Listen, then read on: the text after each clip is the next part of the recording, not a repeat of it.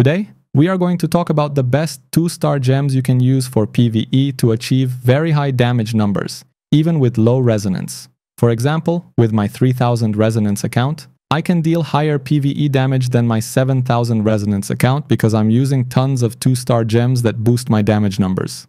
So let's start with my number 1, Mother's Lament. First, let's check out the gem's description at rank 10. When you deal damage, you have a 20% chance of gaining Maternal Disdain, increasing your critical hit chance by 32% for 6 seconds. And if I'm not mistaken, you can increase the duration of this buff with beneficial effect bonuses. I think this gem doesn't require too much explanation. It gives us critical hit chance, which is the most important stat for dealing more damage. You can use this gem with any class, so that's a plus. Next on the list is Pain Clasp. This is one of the best gems you can get in Diablo Immortal, including 5-star gems as well.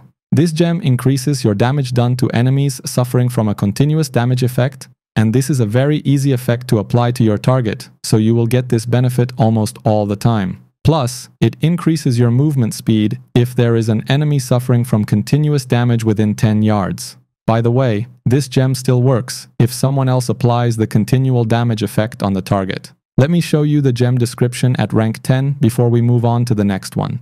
Increases damage dealt by 24% to enemies suffering from a continuous damage effect. When an enemy suffering from continuous damage is within 10 yards, your movement speed is increased by 6%. This next one might surprise you because I think it is quite underrated in general and I'm talking about Cutthroat's Grin. At rank 10, gain 24% critical hit chance and 4% increased damage when attacking from behind.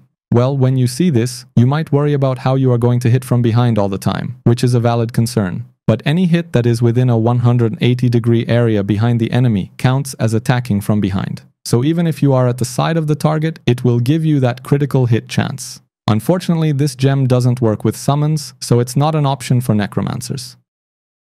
Next, we have one more gem that doesn't work with summons, and that is Fervent Fang. At rank 10, each time you deal damage to an enemy, that enemy now takes 2.40% increased damage from your attacks, up to a maximum increase of 24% at 10 stacks. With most of the PvE builds we use, reaching 10 stacks is pretty easy, so you can consider this gem similar to Berserker's Eye. That's why it's on my top 5 list, not just for PvE. I think this gem is really good for PvP too, but we are going to talk about PvP gems in a separate video. And at the fifth spot, I have Bloody Reach. This gem is only effective if you are playing a ranged class or as a necromancer.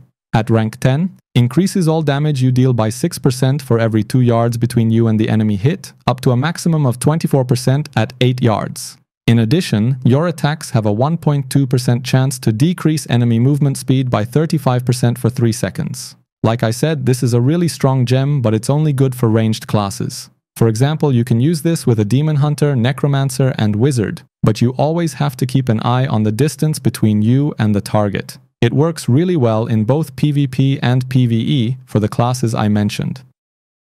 And that's all. I think these are the top 5 2-star gems for PvE. Let me know what you think in the comments. If you have a different top 5 than mine, please share that with us. Thanks for listening and take care.